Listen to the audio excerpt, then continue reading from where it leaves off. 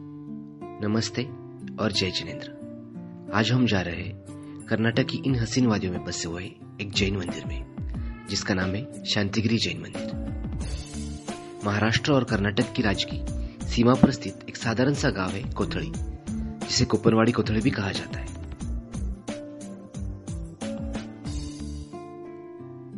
अब हम पहुँच गए हैं शांतिगिरी में। इस सुंदर और शांत जगह को देखते ही आपको पता चला होगा इसे शांतिगिरी क्यों कहते हैं? मंदिर एक ऊँचे पहाड़ी पे है, लेकिन आप आसानी से आपका वाहन यहाँ पे ला सकते हो।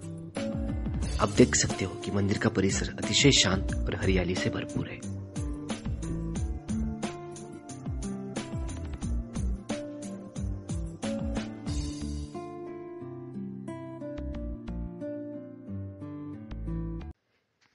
इस भव्य प्रवेश द्वार के अंदर जाते ही बाहें तरफ़ हमको एक मंदिर दिखेगा।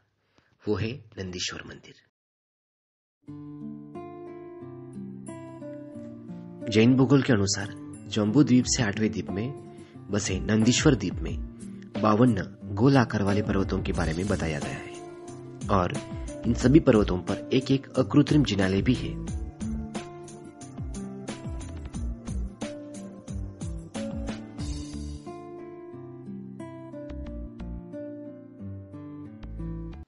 प्रकृति। ईश्वर की ऐसी सुंदर रचना है, जिसे उन्होंने हमें एक अनमोल उपहार के रूप में आशीर्वाद दिया है।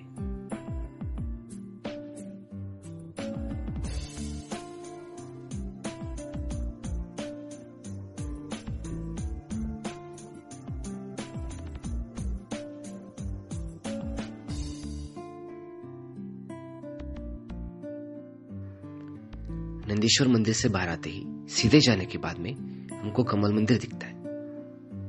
कमल मंदिर के अंदर अष्टकोण कमल के मध्य में चतुर्भुज भगवान पद्मप्रभ है। इनके निकट सभी दिशाओं में चौबीस तीर्थंकर विराजमान है।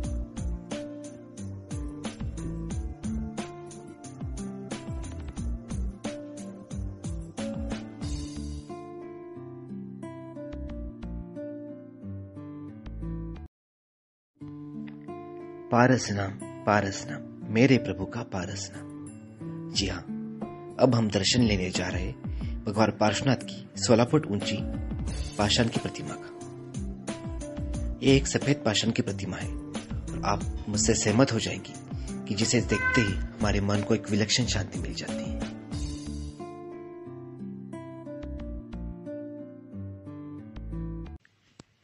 अब हम पहुँच गए हैं भगवान वृषभदेव के मंदिर में।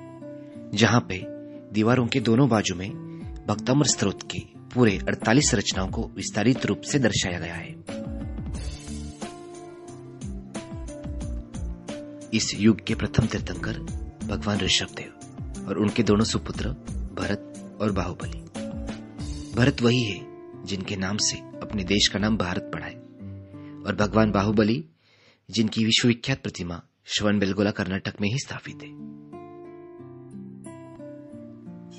अब हमारे समीप है मूल नायक भगवान शांतिनाथ की प्रतिमा, जो 21 फीट ऊँची है।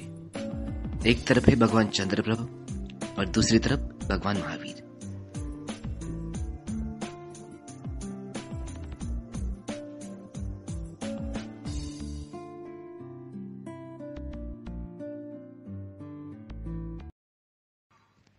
कारवार के जंगल में मिली 800 साल पुरानी भगवान पार्श्वनाथ तीर्थंकर की प्रतिमा को यहाँ पे विस्थापित किया गया है। इस जगह पर विदेश क्षेत्र की 20 तीर्थंकरों की, पाषाण की 20 मूर्तियाँ अलग अलग वेदी पर विराजमान है।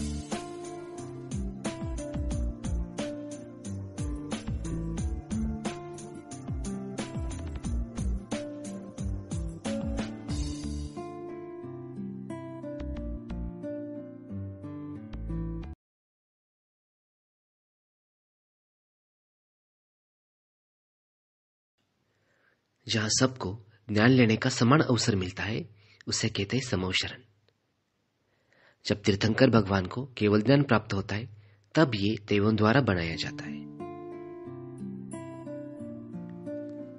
समोशरण की रचना पे, जहाँ पे सबसे ऊपर तीर्थंकर भगवान को बैठने की ऐसी व्यवस्था रहती है, जैसे हर दिशा की ओर के जीवों को भगवान उन्हीं की दिशा में उपदेश कर रहे हो, ऐसा लगता है। इसी समोशरण की एक छोटी सी प्रतिकृति, जो कि कांच की बनाई है। यहीं पे हम प्रदक्षिणा ले रहे हैं।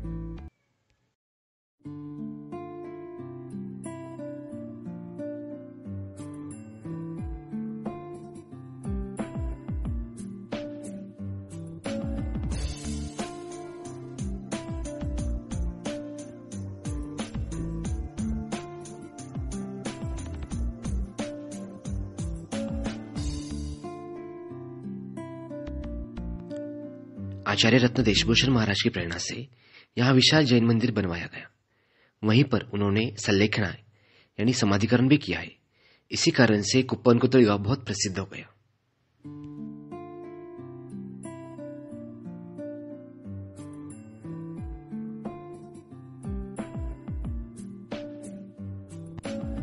अब हम जा रहे आचार्य कुंद कुंद भवन में, जो कि इस पूरे मंदिर की सबसे खूबसूरत और विलक्षण जगह है।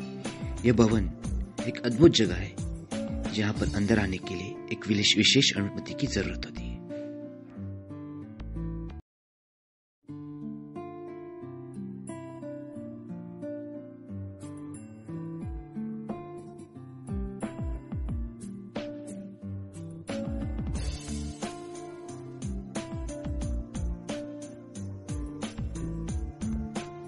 इस सिद्धांत दर्शन में हमने जो अनुभव किया उसे शब्दों में बयां करना असंभव है।